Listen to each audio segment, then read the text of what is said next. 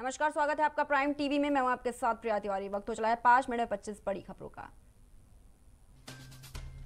अंटीलिया प्रकरण में नया मोड़। मुंबई के पूर्व पुलिस कमिश्नर परमबीर ने सीएम उद्धव ठाकरे को लिखी चिट्ठी। चिट्ठी लिखकर खोले सनसनी के राज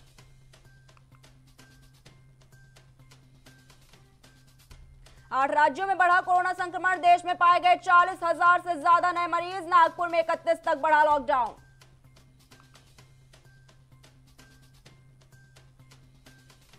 भारत की वैक्सीन डिप्लोमेसी को झटका तीन देशों को वैक्सीन भेजने में सीरम इंस्टीट्यूट ने जताया समर्था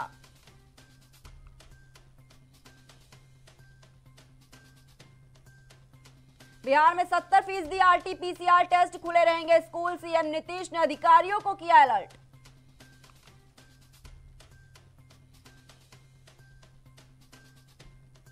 आरएसएस की नई टीम घोषित। राम माधव की हुई वापसी। अरुण कुमार बने। सर कार्यवाह।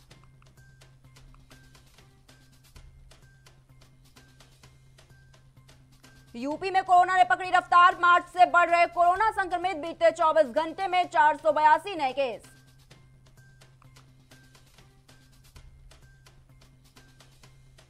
लखनऊ में मुख्यमंत्री आवास के पास वकीलों का प्रदर्शन, कोर्ट में सुनवाई के दौरान अधिवक्ता की मौत मौत पर मांगा 25 लाख का मुआवजा।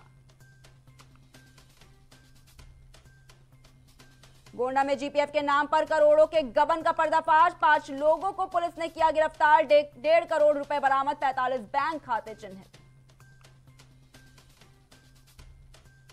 प्रयागराज में देर रात जारी की गई आरक्षण सूची, विकास भवन में भी कर दी गई चस्पा।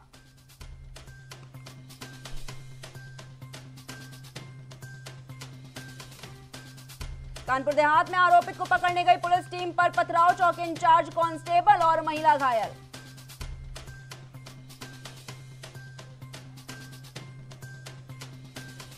फ्रांसीसी महिला ने सामूहिक दुष्कर्म का मामला, अदालत ने दोषियों को सुनाई मौत की सजा, तीन बच्चों के सामने हुई थी वारदात।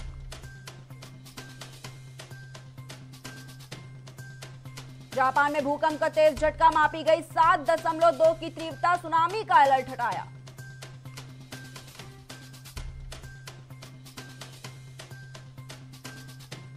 श्रीलंका में यात्रियों से भरी बस खाई में गिरी, हादसे में तेरह की मौत, तीस से अधिक घायल।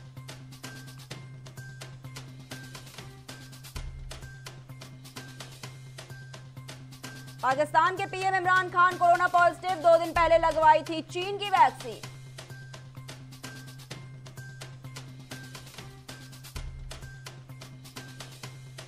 दुनिया का सबसे खुश देश फिनलैंड, चीन को चौरासवा और भारत को एक स्थान, पाकिस्तान की स्थिति भी बेहतर।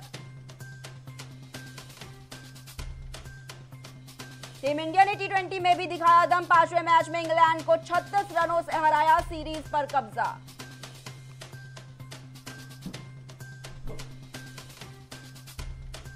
विराट कोहली ने तोड़ा रॉन पिंच और केन विलियमसन का रिकॉर्ड के एल राहुल को भी छोड़ा पीछे।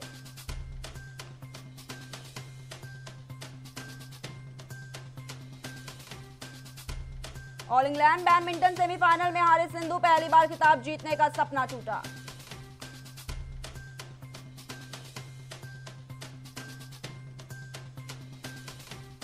दो भारतीय पिस्टल शूटर्स को हुआ कोरोना, रूम पार्टनर्स को मिलेगी टूर्नामेंट में हिस्सा लेने की मंजूरी।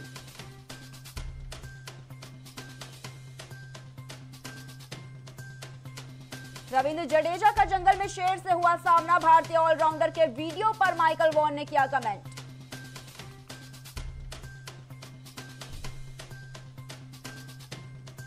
टीवी की नई नागिन बनेंगी रूबीना दिलैक, एकता कपूर कर रही है खास तैयारी।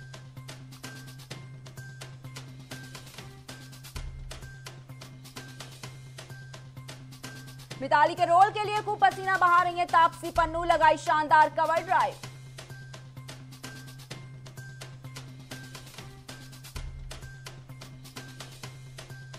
under water bikini में दिखी आलिया भट्ट फ़ोटो शेयर कर बोली, मेरे सबसे शानदार दिन।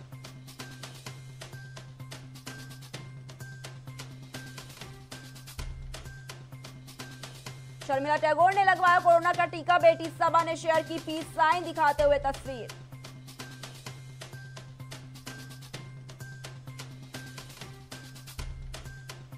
लैक्मे फ़ैशन वीक में सितारों का जलवा, पत्नी नताशा संग अरुणाचल में वरुण धवन।